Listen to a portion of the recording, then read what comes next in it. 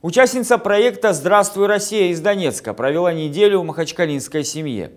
15-летняя Анастасия Берестюк, воспитанница вокально-хореографического ансамбля «Сувенир», гостила в семье Мусаевых. Попечителем девочки стала Умасалимат Мусаева.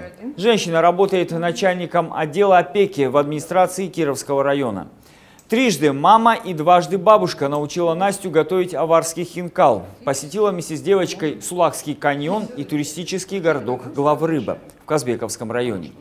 Девушка, прощаясь с Дагестаном, отметила, что природа края ее удивила красотой, а люди теплом и гостеприимством. Спасибо вам огромное. Вы меня проводили по самым таким значимым местам, отправляли в самые такие удивительные места. Вот.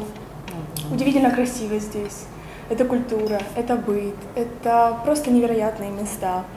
Больше всего, скорее, что меня удивило, потому что это была моя, знаете, из таких маленьких мечт, это побывать в центральной мечети. Вот, это... Первое, что сделала Анастасия в день да. приезда, попросилась в мечеть. И мы вот. сразу, джума мечеть, сразу Это безумные виды, и это просто невероятное ощущение, непередаваемые. Ума Мусаева, в свою очередь, подчеркнула, что участие в проекте – это способ заявить, наши люди всегда готовы поддержать гостей в трудной жизненной ситуации.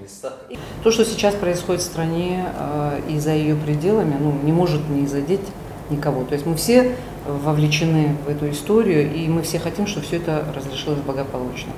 Приезд э, гостей из Донбасса, э, именно детей подросткового периода – мне кажется очень таким нужным и своевременным, потому что мнение свое они будут складывать не из э, репортажей, не из сведений, которые они видят э, на телевидении, либо где-то в соцсетях, а вживую пообщаться с людьми. Всегда интересно увидеть настоящих живых людей, не политиков, не э, там каких-то шоуменов. И в данном случае как раз есть возможность рассказать о своем быте, о своей жизни, о своих интересах, о том, чем мы живем, а, как мы живем, а, какие у нас взгляды на жизнь.